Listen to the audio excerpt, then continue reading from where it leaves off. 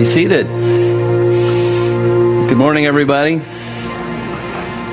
It's good to be with you. I was thinking of singing that song. It's something I heard this morning on a um, podcast of another sermon um, about God is never late, but He's seldom early.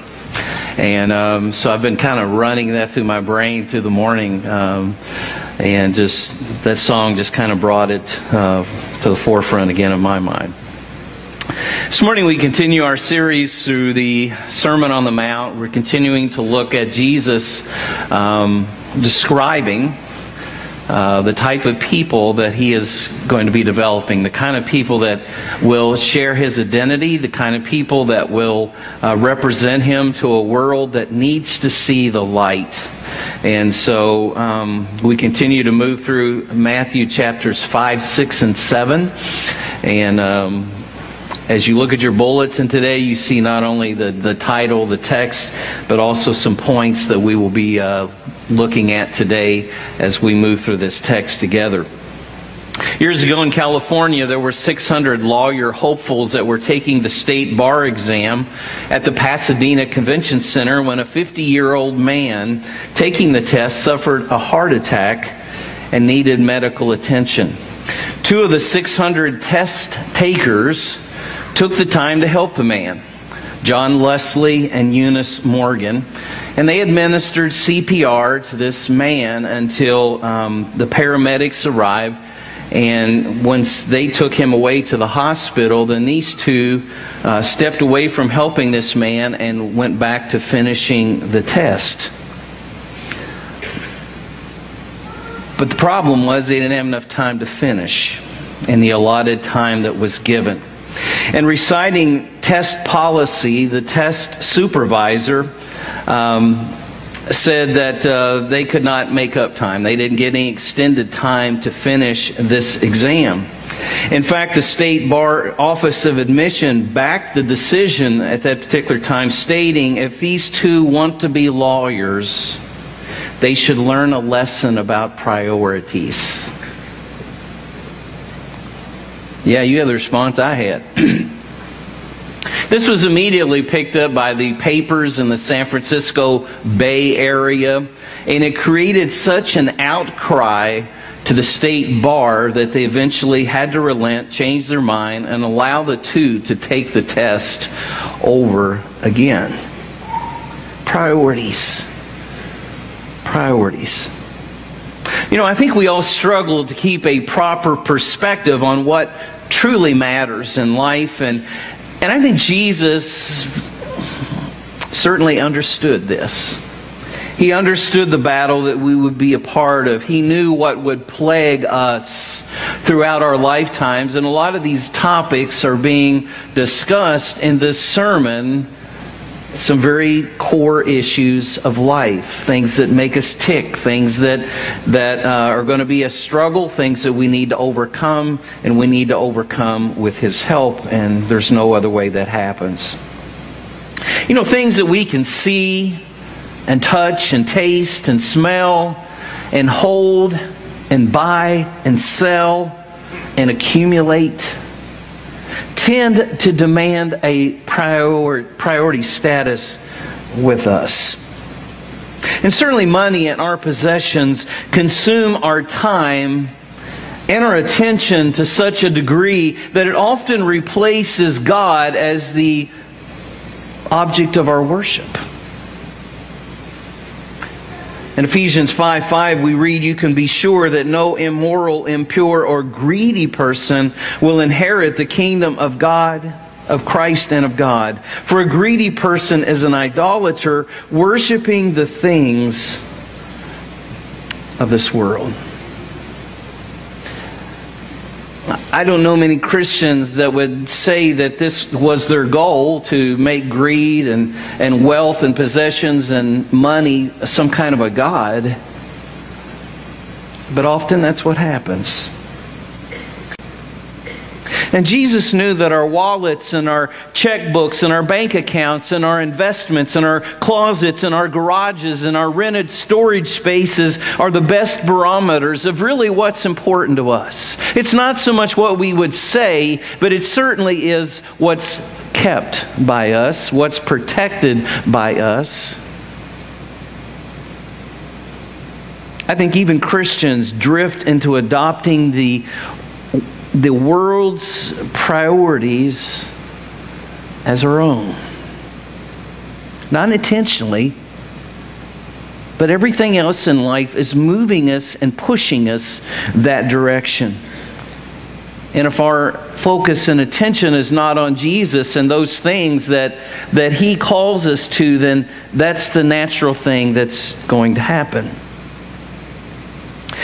In part, Jesus' emphasis in the section of the Sermon on the Mount that we're looking at today warns the genuine disciple to refrain from adopting the world's standards. The things of the world are changing, they're eroding, they're constantly losing their value. On the other hand, matters to which Jesus referred to as treasure in heaven is steadily increasing in value. You've heard the word, as I have, materialism. We know that materialism is an out of balance preoccupation with what we possess. And this very thing has brought a lot of damage to men, to women, and our culture. This area of sin is not as obvious all the time as, as lust or as pride. In some ways, it's easier to hide in our affluent culture and has become almost acceptable to a certain degree for any Christian. Materialism, though, involves greed and envy, and these are two things that we find consistently through the Old Testament and the New Testament we are told to avoid at all costs. In my years of ministry, I have had people confess a lot of addictions to me over time.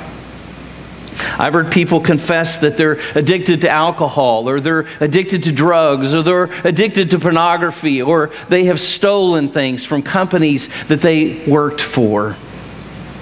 But I have never had a person brokenheartedly confess to me, I'm a greedy person.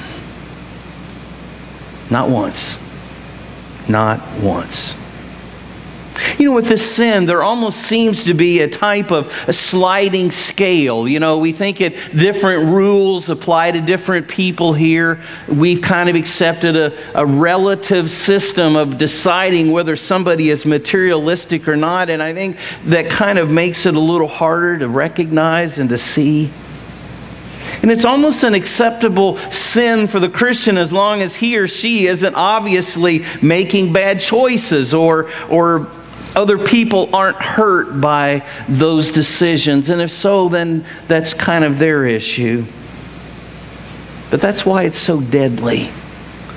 It does its work in the hearts and souls of people, and it does nothing but pull us away from a true loyalty and commitment to Jesus Christ. As we continue our study of the Sermon on the Mount, Jesus will address this issue head on, as he does with all issues. And once again, he will elevate the standard for those who choose to follow him. I'm using an outline again on the back of your bulletin this morning. The first part is that Jesus begins with the heart when talking about possessions he begins with the heart. Mark Moore, in his book, book, The Chronological Life of Jesus, says that in the first century, wealth was not accumulated in bank accounts. Instead, precious metals or expensive wardrobes and tapestries were accumulated. They were where wealth was found in individuals, it's where it was stored and contained within these types of items. And that's why in the text, Jesus reminds his listeners of what moths can do to cloth and what rust can do to metals. Let's look at what he says beginning in verse 19 of Matthew 6. Jesus said, Do not store up for yourselves treasures on earth where moth and rust destroy, and where thieves break in and steal. But store up for yourselves treasures in heaven, where moth and rust do not destroy, and where thieves do not break in and steal.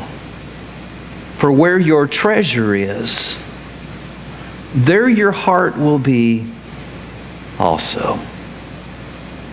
Jesus so much wanted his followers to understand that worldly riches are a poor investment. Moths can damage these expensive clothing and tapestries, and thieves can remove them. You know, no moth proof tapestries existed in the time of Jesus.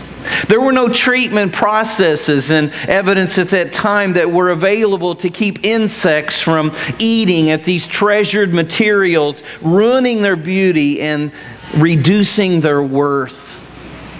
And so this was an issue that people readily understood in that particular day and time. And no minted coins of the day were exempt from rust or corrosion. No one could offer a guarantee that deterioration or theft wouldn't occur. No foolproof vaults existed in Jesus' day. And most people kept their valuables, whatever they had, in their homes. And the walls of their homes in that day provided very little protection. For the most part, they were made of dirt. And thus, a person easily could dig through the walls of homes or businesses, and this happened often.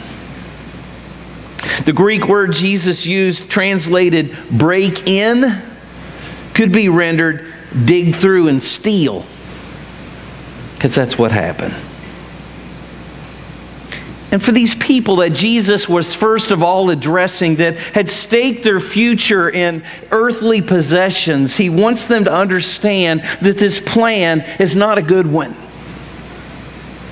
That these things that you're sinking your security in now and in the future, there's so many things that could happen to those. Could be eaten up, they could be stolen, they could rot, they could rust. And all this value you see in these will be gone.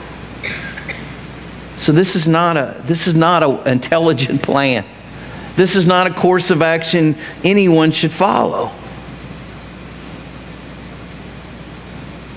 And today, yeah, we don't have these same problems. But what investments and what securities do we have that are fully secure?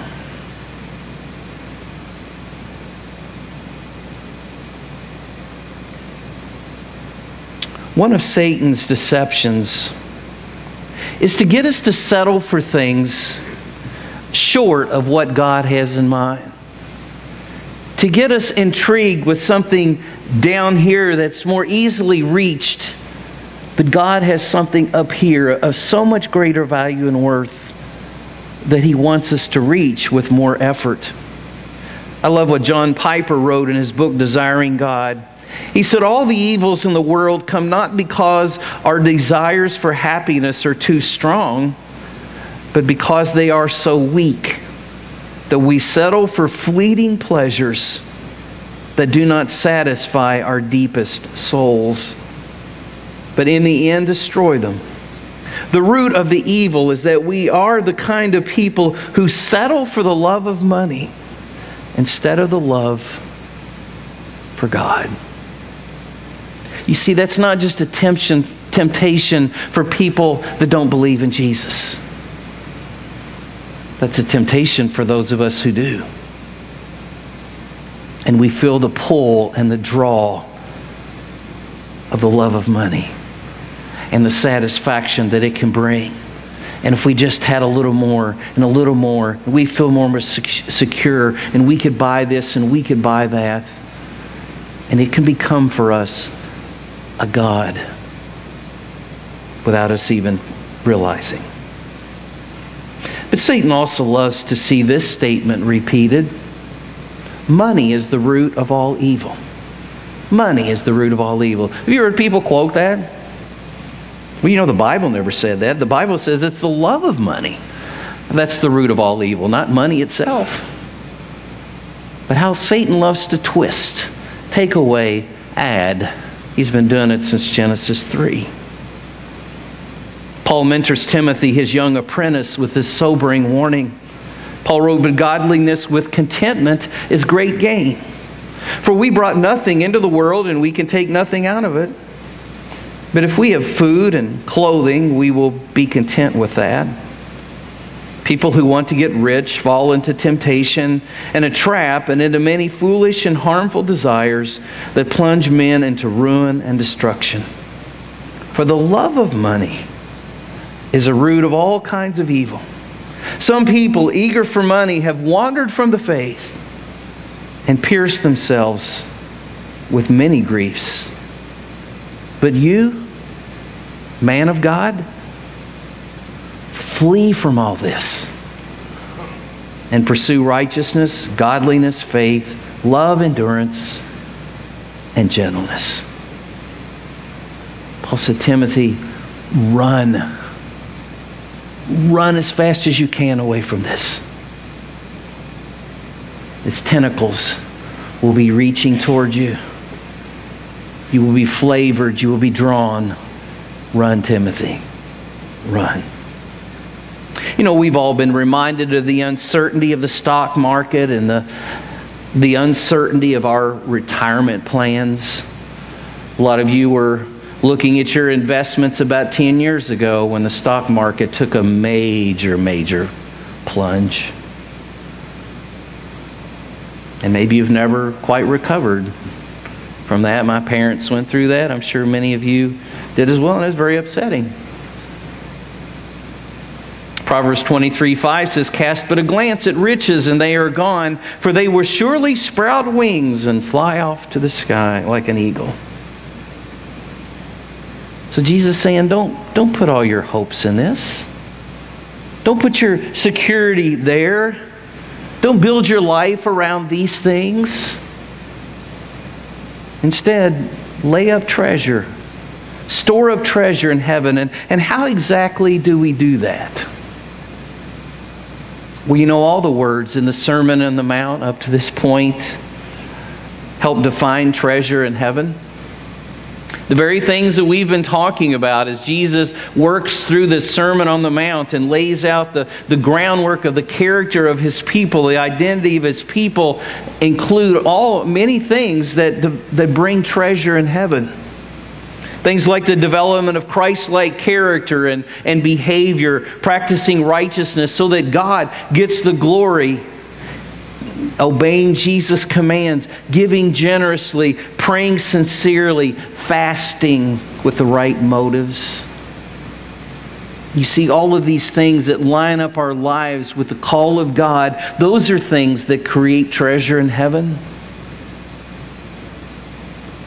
And it all comes back to what really drives you and what really consumes you people devote themselves to what is truly most important to them. Or as Jesus said, where your treasure is, there your heart will be also. Secondly, on your outline, what you choose to focus on sets your life direction. What you see and what you look at shapes your heart. And your heart is then seen in your eyes. Jesus talks about this often through the New Testament. But he said it this way in our text, beginning in verse 22. He said, The eye is the lamp of the body. If your eyes are good, your whole body will be full of light. But if your eyes are bad, your whole body will be full of darkness. If then the light within you is darkness, how great is that darkness? You see, what we see through our eyes shapes our heart, and then our eyes reflect our hearts. You see, it's not just a, a, lust for a person that starts with the eyes, it's also when you and I see something that we think we've just got to have. It may not be something we need. Most of the time, it's not. It's just something we got to have. Why? Because we don't have it. Because we immediately begin to think of all the things that, that, that we could use if we just had this, or, or how we would appear if we just had this, or how much easier our life would be if we just had this. So, you know, it's so easy to rationalize the wanting of a possession. And it starts with the eyes. It's just a greedy desire to possess something. You know, there's commandments after commandments in the Bible dealing with greed and covetousness and envy because God is so intent on getting the warning out to people the dangers of this. And we are constantly being tugged and, and pulled with advertisements. If we would just buy what they're selling, our lives would be easier, we'd have more fun, we'd be happier, you know, our kids would be happier, every one of our gatherings would be the greatest joyful experience, and our, you know, we would just be so content. And here in the U.S. ad agencies and marketers try to dictate our focus. They try to focus us toward what they say is the ideal. But over time, we realize that the target of materialism is always moving. You know, once you get this, guess what? There's something else. And once you get that, there's something else. And it, the target keeps moving. And you never really reach it. And so dangerous. Author Randy Alcorn writes We ought to periodically take our kids to the junkyard to let them see what happens to the material things that people long for. These things which were so important to people 10 years ago are now wasting away in a junkyard. Everything the world has is temporary. Don't you have some of those things in your house that at one time you thought you just had to have? and you haven't picked it up for 15 years or 10. And you forget you even have it. It's in your attic, it's in your closet, it's in your garage, it's in your basement, it's in the back bedroom. We all have those things. And it should remind us when we think about it that those things we just got to have, do we really need them? Is it the best use of what we have? Does it reflect a heart that's devoted to Christ? It's a heart devoted to materialism. You know, we need to make sure our eyes are focused on the Lord. Hebrews 12, 2 said, Let us fix our eyes on Jesus. Fix our eyes on Jesus, the author and perfecter of our faith. As always, we are the kings and queens of rationalization somebody catches us looking at something longingly, we might jump back and say, "Oh, I'm just window shopping. I'm not buying. I'm just I'm just looking. I just enjoy looking." You know, that might sound good. It might sound like, yeah, we're not really gripped by that item. But you know, in our hearts, sometimes we're not really being truthful. We want that. We just don't want to look like we do. But you know, if you're not careful, someday what you're looking at will grab your heart. And it'll move from here to here. And we can say we're not attracted to the trappings of this world, but we'll find that whatever captures the attention of our eyes in time will magnetically draw us to it until it's in our heart. You see, whether you dive into materialism or you inch toward it, you end up in the same place.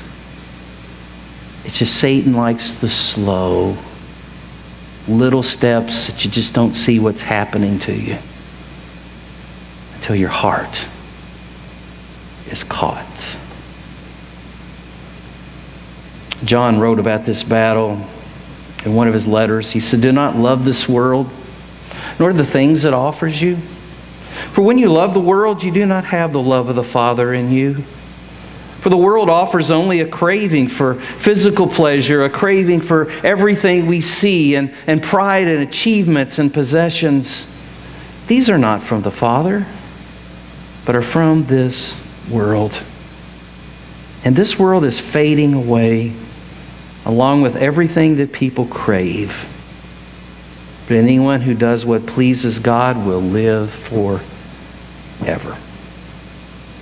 It's so important to commit. Emphasis on commit to a personal relationship with Jesus and keep a single minded focus on Him because if we don't, we are so sucked into all this stuff going on in the world around us, getting pulled and tugged and gathering up things that are really more important to us than they ought to be. Jesus becomes the counter, the one who gives us perspective to see what's really trying to be pulled off on us. Lastly, hold tightly to the right things. Hold tightly to the right things. This question came to mind as I was thinking about this passage this week. Good question for all of us to answer. What in your life are you gripping tighter than you should? What in your life are you gripping tighter than you should? What possession would you find hard to let go of? That you would protect vigorously? That you might actually turn on somebody trying to take it away from you if you thought this was a real threat? Do you have things like that in your life? Jesus said in Matthew 6:24, "No one can serve two masters." Either he will hate the one and love the other, or he will be devoted to the one and despise the other.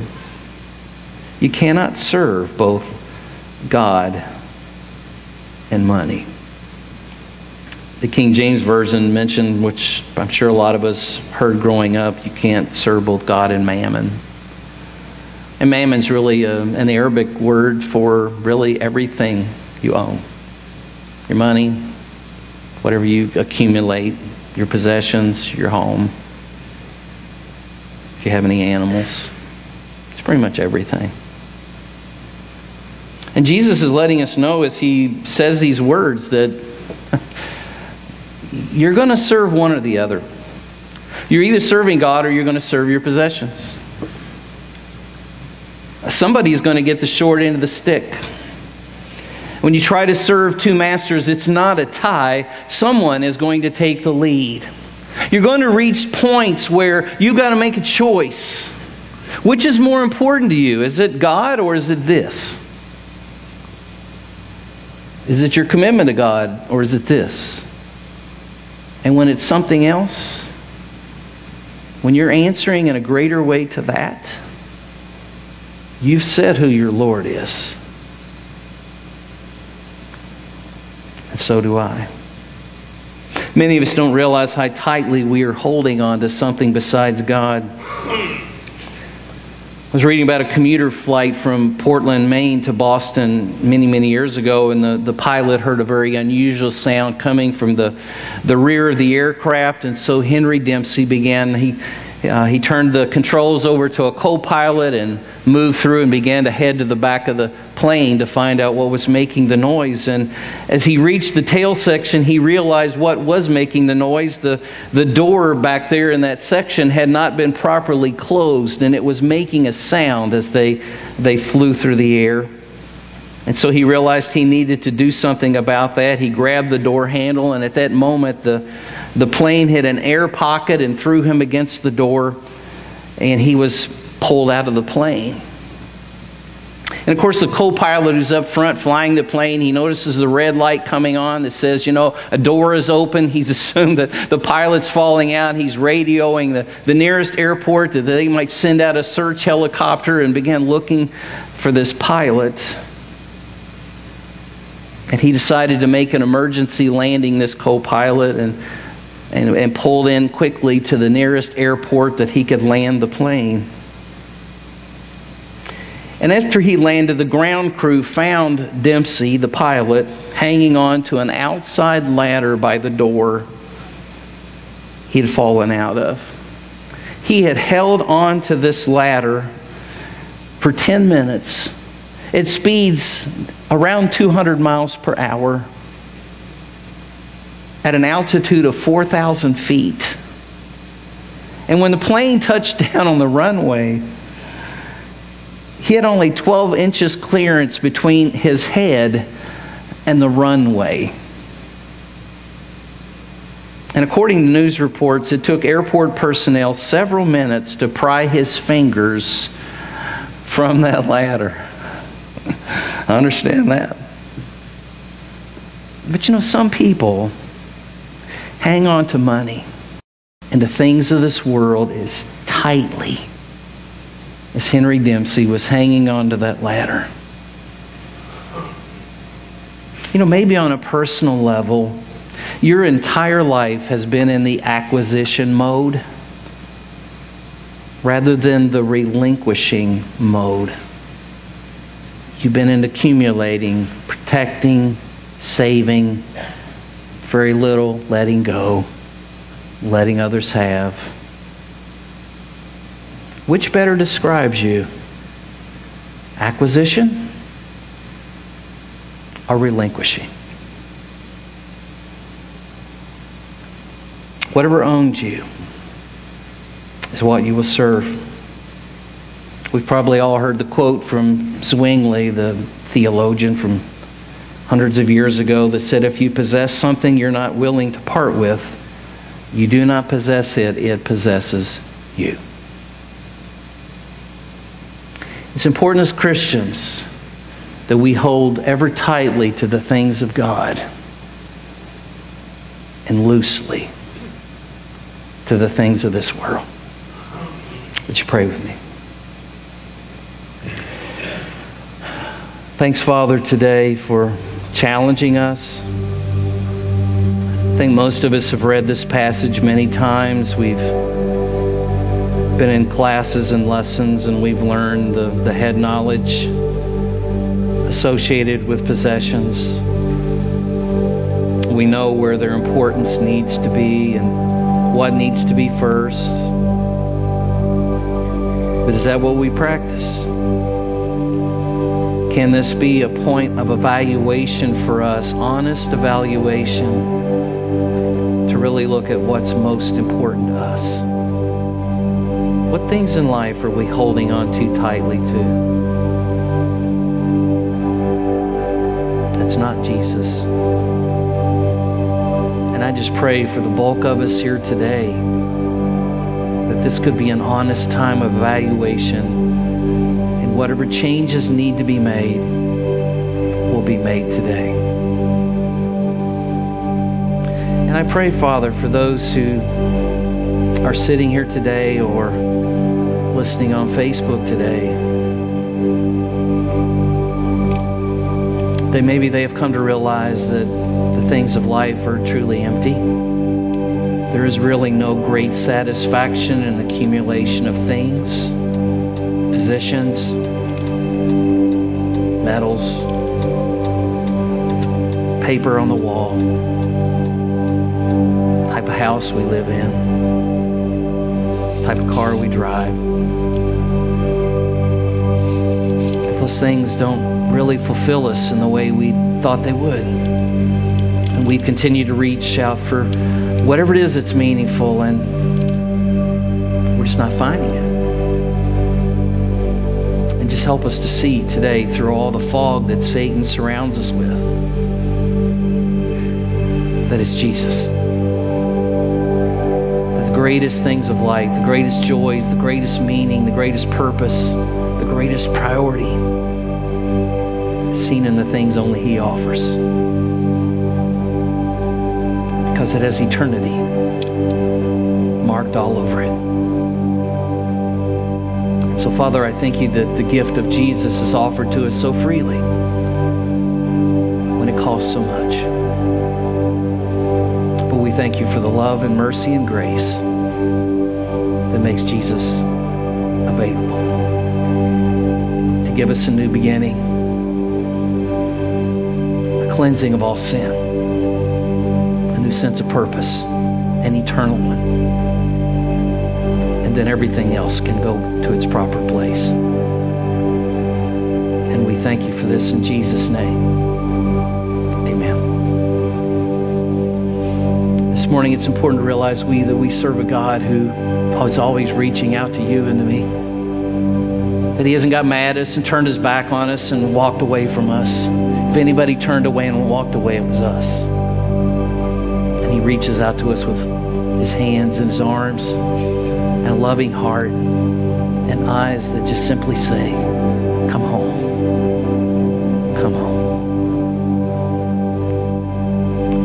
So today, I just pray that if you've never given your life to Jesus, that you would be willing to come and talk to one of us. The badge is on today, and just say, "Hey, I've never made a commitment to Jesus. What, what does that involve? What do I what do I need to do?" Maybe you're someone that's kind of been away from the Lord, and you're looking to reconnect. And maybe you're ready for something different than you've ever experienced in your life. You're ready for more. You want to talk about that today maybe just need to pray with somebody today. Yeah, I'm just struggling with something, or, or there's something going on in my family, or something with a friend, or, or, or something at work. I just I need some help. Please, we'll be happy to pray with you today. We just ask these things that you would respond to the arms of God who reached out to you today. Be standing together and singing. Feel free to move to one of us as you feel like you're led to do today or even following the service today as we stand together and as we sing.